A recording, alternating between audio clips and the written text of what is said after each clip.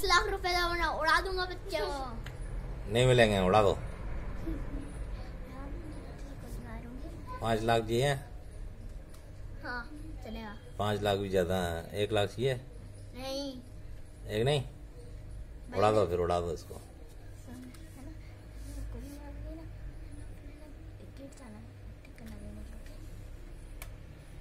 पक्का? पक्का। 保护，全。